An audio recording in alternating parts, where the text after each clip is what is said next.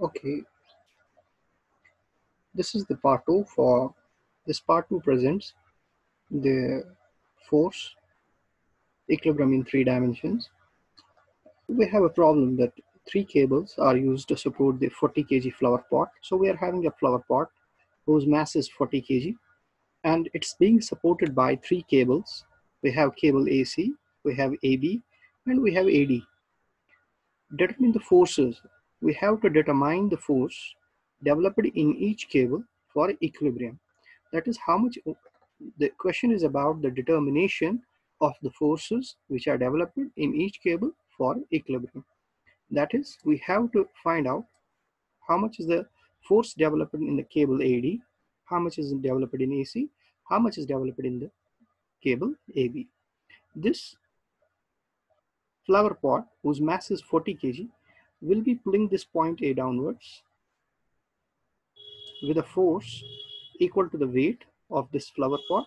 And the weight of this flower pot is equal to 40 multiplied by 40 multiplied by 9.81 40 kg multiplied by 9.81 new 9.81 and its units will be newton which is equal to 392.4 392.4 newton. Okay? So this much is the weight of this flower pot with which it's pulling this point a downwards. Therefore in cable ad tension will be developed in this direction. We'll call that as fad so this is fad in the same way the force developed in ac let that be equal to fac this is the force developed in ac that is fac and we'll also have the force developed in AB. Let's call that as FAB. Okay, let's call this as FAB. This force is FAB. So these are the forces which are developed in each cables. We have to find how much is this FAD, how much is FAC, and how much is FAB the coordinate system is given to us. This is the x-axis. The unit vector measured in this direction will be treating that as i cap. The unit vector measured along y-axis will be treating that as y cap or j cap. And the unit vector along z-axis will be treating that as k cap. Okay. So now the procedure is, let's find out first of all the coordinates of each and every point, like point A, point B, point C, and point D look at point D, the coordinates of point, uh, point D are, it does not have any coordinate along x-axis, it does not have any coordinate along y-axis, it has a coordinate along z-axis and that's equal to 1.5. So its coordinates will be 0, 0 and 1.5 meter. So these are the coordinates of, of point D. As far as the coordinates of point C are concerned, the coordinates of point C are, or first take the coordinates of point A, as far as the coordinates of point A are concerned, its coordinates will be along x-axis, it is 1.5, along y-axis, it's 2 meter, and it's on a plane, therefore it does not have a z com component, z coordinate. So its co coordinates are 1.5, and along uh, y-axis, its component is 2 meter, and does not have any z component, okay. Okay, so uh, first of all, what we do, let's uh, write down the equation of equilibrium. The equation of equilibrium is summation of all the forces, that is F A, or we write it. The equation of equilibrium is the resultant of all the forces about the point A, let's take equilibrium about point A, should be equal, the summation of all the forces about point A should be equal to zero, which clearly indicates that as far as which indicates that we have this FAD, vector FAD, we have vector FAD plus we have vector FAC, we have FAC as a vector and vector FAB and the last one will be the weight plus the weight of the flower pot should be equal to 0. This is the equilibrium condition for us. Therefore, we can simply write, as far as this FAD is concerned, this FAD we will write in terms of the in terms of its magnitude and a unit vector drawn from point A to point D. Therefore, FAD we can write, FAD is a vector, it will be equal magnitude FAD multiplied by the unit vector drawn from point A to point D. That will be 0 minus 1.5 along i cap. That will be minus 1.5 i cap. Then there is 0 minus 2, that is minus 2 j cap. And the third component is 1.5 minus 0, that is plus 1.5 k cap.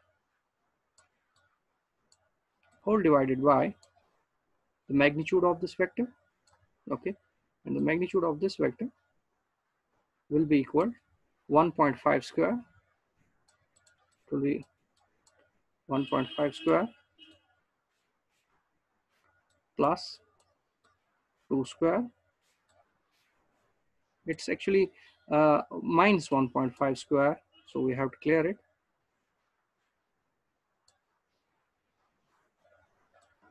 Minus 1.5 square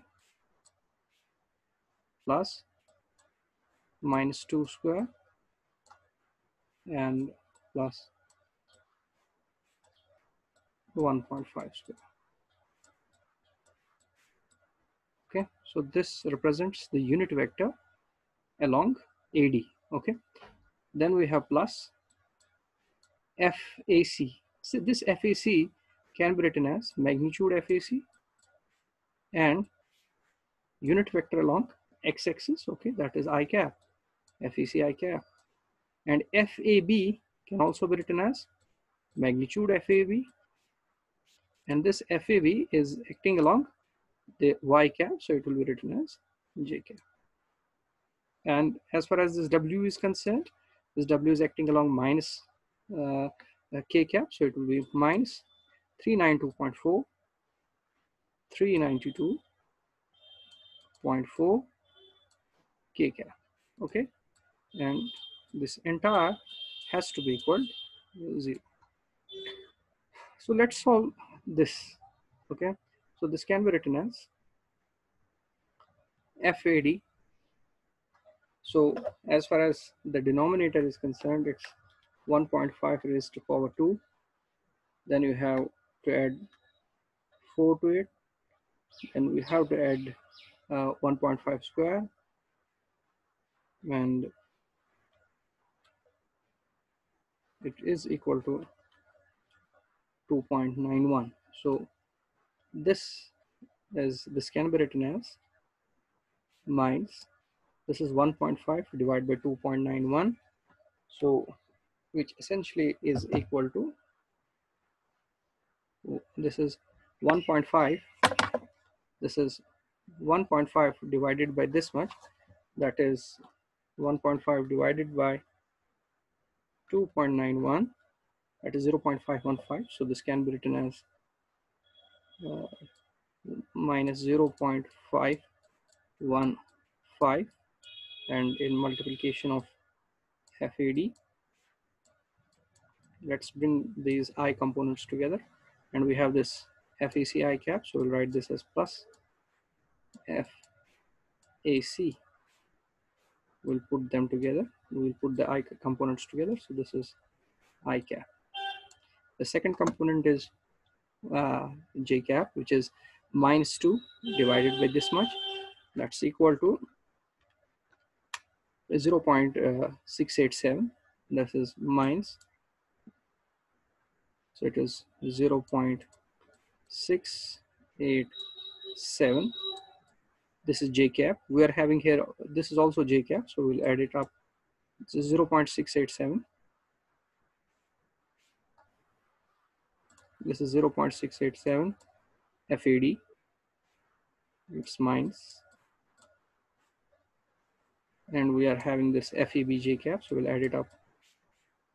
FAB so we'll bring them together. We can write this as we can write it like this. This is j cap. Okay so this minus 0.687 plus this represents this component and this component. And the last one is 1.5 divided by this much. So that will be that will be plus 1.5 divided by this much which is equal to 0 0.515 so it is 0 0.515 FAD 0 0.515 FAD and we are having 3.924 so this is minus 392.4 392.4 and this entire is along k so we'll write this as k cap okay? This is equal to zero. Since this is a zero vector. It means this component is zero this component is zero and this component is zero okay. So first of all let's take this component. So we'll write therefore therefore we can write 0 0.515 0 0.515 FAD 0 0.515 FAD minus 392.4 is equal to 0 that is 0 0.515 FAD is equal to 392.4 and this is 392.4 Newton okay?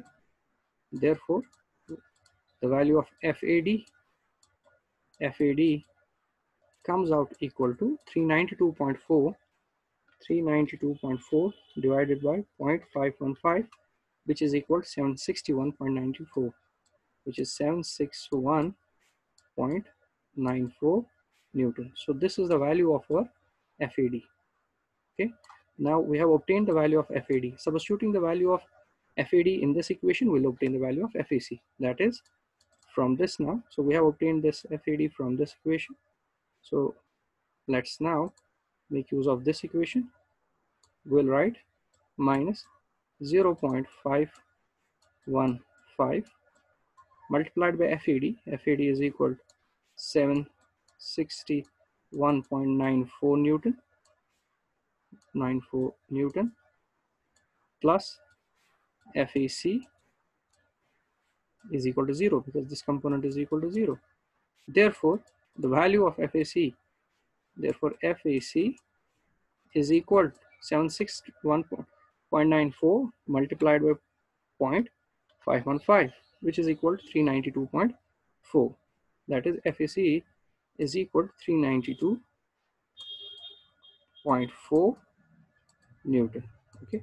So this is the value of our FAC the last component that we have to obtain is the value of FAB therefore we can substitute the value of FAD in this equation to obtain the value of FAB that is as far as this equation is concerned from this equation we can obtain this is 0 0.687 this is 0 0.687 multiplied by FAD as far as FAD is concerned that's equal to 761.94 Newton.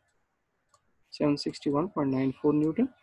And we have plus FAB equal to 0 plus FAB equal to 0 Therefore, from this equation, the value of FAB is equal to, the value of FAB will be equal to 761.94 multiplied by 0.687, which is equal to 523.4 Newton.